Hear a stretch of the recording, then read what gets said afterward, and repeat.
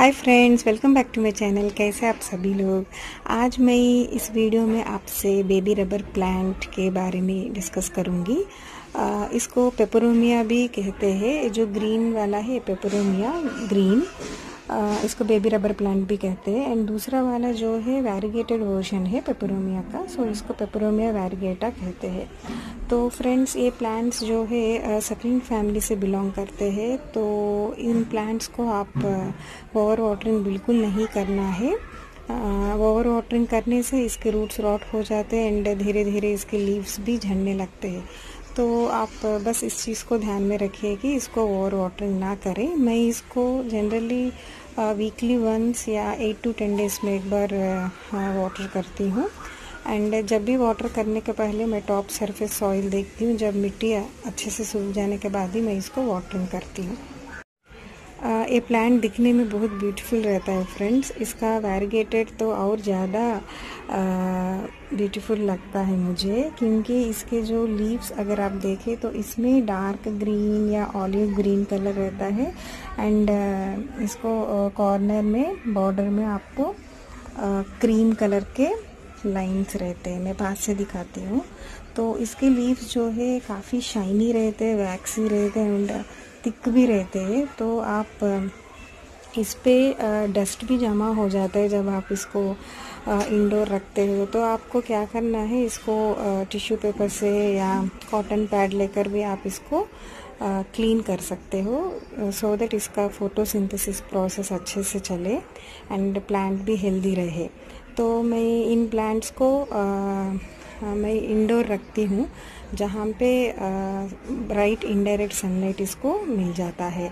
Like मैं इसको window के पास रखती हूँ तो इसको ब्राइट इनडायरेक्ट सनलाइट में आपको रखना है। इसको डायरेक्ट सनलाइट में नहीं रखना है। डायरेक्ट सनलाइट में रखने से इसके लीव्स बंद हो जाते हैं और ये प्लांट धीरे धीरे ख़राब होने लगता है। फ्रेंड्स आप देख सकते हो मैं इन प्लांट्स को हॉल में रखी थी, जहाँ पे विंडो से ब्राइट लाइट मिलता है।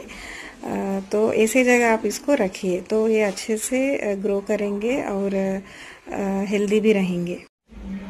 समर में ये प्लांट आप कम्प्लीटली शेडेड एरिया में रख दीजिए, जहाँ पे आपको लाइक इनडायरेक्ट ब्राइट लाइट मिले।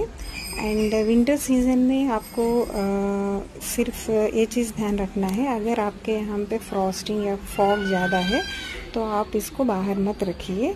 एंड विंटर में आप इसको सुबह की सनलाइट दे सकते हो। सुबह के सनलाइट डायरेक्ट लाइट में रख सकते हो बट ओनली विंटर सीज़न में। समर में बिल्कुल नहीं रखना है।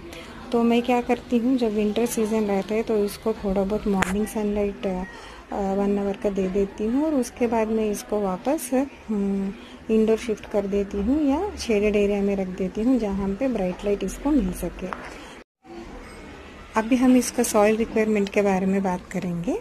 आ, इसको वेल ड्रेन सॉइल ज़्यादा अच्छा लगता है। तो आप क्या कर सकते हो आप कोकोपीट वर्मी कॉम्पोस्ट या घर में बना हुआ कॉम्पोस्ट एंड सैंड ये तीनों मिक्सर बना के सॉइल मिक्सर बना के आप इसको इसमें रिपोर्टिंग कर सकते हो, ये सॉइल मिक्सचर में। तो जनरल क्या कर सकते हो कि आप 40 परसेंट कोकोपीट लीजिए 40 परसेंट वर्मी कॉम्पोस्ट लीजिए, या घर का बना हुआ खाद भी चल जाएगा और 20 परसेंट सैंड लीजिए।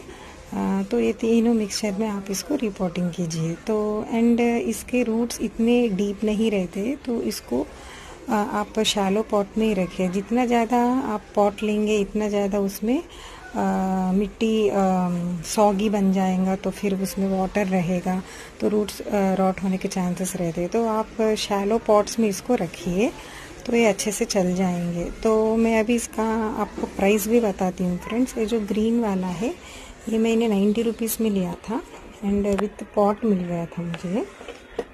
मैंने इसको रीपॉटिंग भी नहीं किया है। एंड ये जो है ये मैं पॉली बैग में लेकर आई थी। ये थर्टी रुपीज़ में मिला था मुझे। एंड मैंने इसको आ, इसमें रिपोर्टिंग किया है। सेम सॉइल मिक्सर यूज़ करके। एंड ये जो पॉट आप देख सकते हो ये मैंने घर पे लाइक बनाया है। जीट रोप से मैंने ये पॉट डेकोरेट किया है। तो ये मैं इंडोर में रखती हूँ तो इसीलिए मैंने इसको इस पॉट में रखा हुआ है। जब भी आप इसको रिपोर्टिंग करना चाह रहे हैं तो आप अभी मत कीजिए विंटर सीज़न में। विंटर सीज़न के बाद कीजिए। तो मैं जब भी इसको रिपोर्टिंग करूँगी तो मैं इससे ज़्यादा बड़ा गमला नहीं लूँगी और ऐसे छोटे गमले में मैं इसको रिपोर्टिंग कर दूँगी।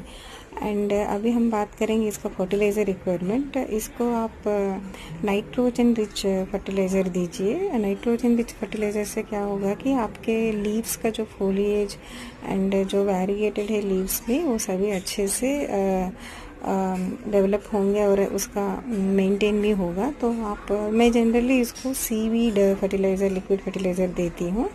आप वंस इन ए मंथ दे सकते हो but once in a month कभी देना है विंटर छोड़ के, बाकी के दुनिया में आप वंस इन ए मंथ दे सकते हो, जब ये प्लांट ग्रोइंग स्टेज में रहेगा, तब देना है। विंटर में इतना ग्रो नहीं होता है तो विंटर होने के बाद, जैसे अभी फरवरी में मैं इसको फर्टिलाइज़र देना चालू कर दूँगी। ये अभी मैंने रिसेंटली वन मंथ के पहले लिया था तो इसको मैं अभी नहीं दूँगी फर्टिलाइज़र इसको थोड़ा ग्रो होने दूँगी। उसके बाद मैं इसको फर्टिलाइज़र दूँगी। तो बस फ्रेंड्स आज के लिए यही है। होप आपको ये प्लांट्स अच्छे लगे होंगे। If you like my video please do subscribe to my channel and do share my videos friends thank you friends for all your support till now okay, friends, bye. See you in the next video. Until then take care bye happy gardening.